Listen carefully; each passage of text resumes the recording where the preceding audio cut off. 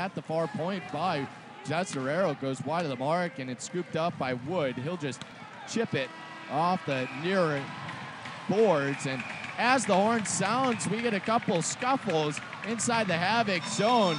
The gloves are being dropped by Willigar. Buckets are off, and Driscoll going at it with Willigar. Willigar trying to get a couple rights as the referees get in the middle of those two. And yeah, that was a really hard punch landed from Driscoll there.